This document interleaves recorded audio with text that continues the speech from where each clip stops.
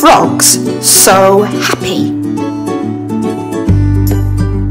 Because they eat whatever bugs them.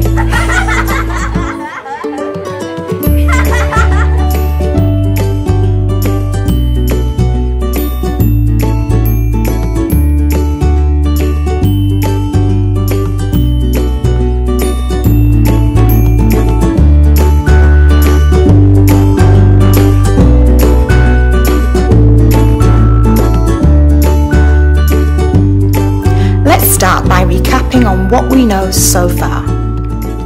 The brain is covered in neurons, a hundred billion of them to be precise. The more they work together, the smarter you become. When we become stressed and anxious, the prefrontal cortex stops functioning and our neurons stop working together, and that's not good. This can happen when we focus too much on being perfect. Do you remember Penelope Perfect from our story last week? So, if we're not trying to be perfect, then how do we make progress? Progress comes when we struggle. When we find things difficult, that's when our neurons are really joining together to make us smarter. On our learning journey, we must remember to look back at how far we've come, as Raymond discovers in our story today on his journey towards becoming an artist. Ish by Peter Reynolds. Raymond loved to draw. Anytime, anything, anywhere. One day, Raymond was drawing a vase of flowers. His brother Leon leaned over his shoulder. Leon burst out laughing. What is that? he asked.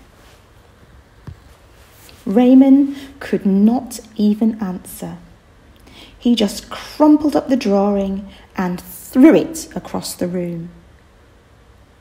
Leon's laughter haunted Raymond. He kept trying to make his drawings look right, but they never did. After many months and many crumpled sheets of paper, Raymond put his pencil down. I'm done. Marisol, his sister, was watching him. What do you want? he snapped. I was watching you draw, she said. Raymond sneered. I'm not drawing. Go away. Marisol ran away, but not before picking up a crumpled sheet of paper. Hey, come back here with that. Raymond raced after Marisol up the hall and into her bedroom. He was about to yell, but fell silent when he saw his sister's walls. He stared at the crumpled gallery. This is one of my favourites, Marisol said, pointing. That was supposed to be a vase of flowers, Raymond said, but it doesn't look like one. Well, it looks vase ish, she exclaimed. Vase ish. Raymond looked closer. Then he studied all the drawings on Marisol's walls and began to see them in a whole new way. They do look ish, he said. Raymond felt light and energized. Thinking ishly allowed his loose lines quickly springing out without worry. Raymond once again drew and drew the world around him. Making an ish drawing felt wonderful. he filled his notebooks. Tree-ish, house-ish, boat-ish, afternoon-ish, fish-ish, and sun-ish. Raymond realised he could draw ish feelings too. Peace-ish, silly-ish, excited-ish.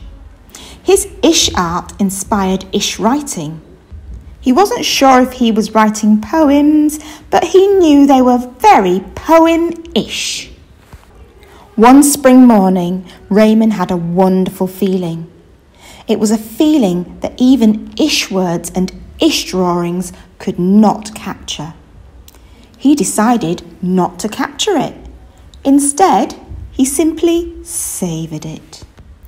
And Raymond lived ishfully ever after. The end ish. Raymond put lots of pressure on himself to get his drawings just right. He also allowed his brother's negative opinion to add to the pressure that he felt.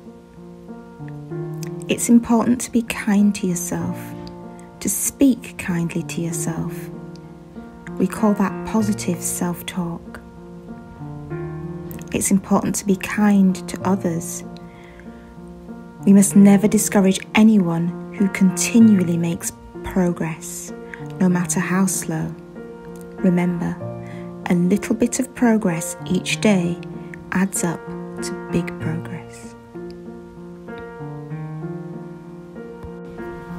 Today, Monday, the 18th of January, people all over America are celebrating Martin Luther King Day.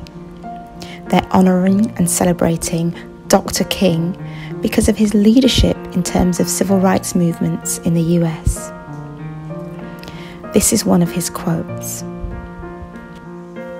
If you can't fly, then run. If you can't run, then walk.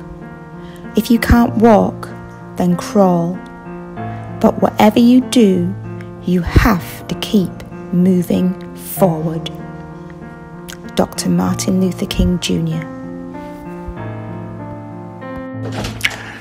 The pause for thought.